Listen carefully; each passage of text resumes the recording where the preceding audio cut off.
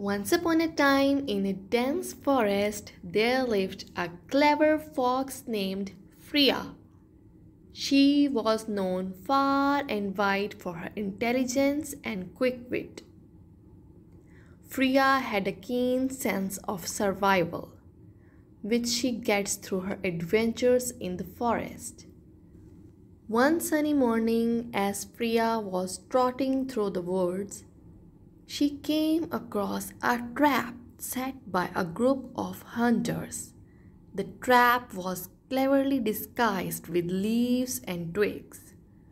But Freya's sharp eyes spotted it from afar.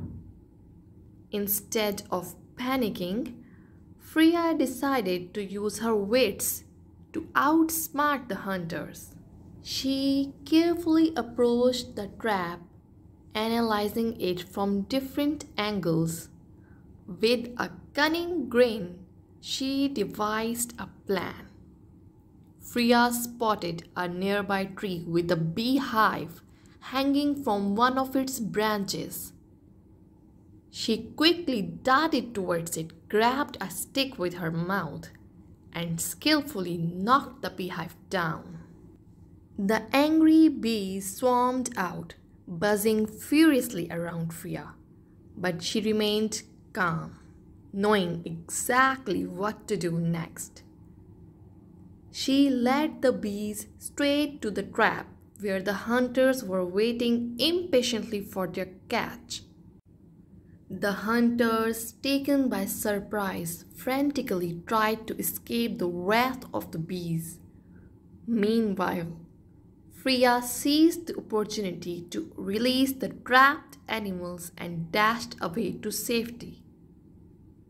As she disappeared into the forest, Freya couldn't help but feel a sense of satisfaction.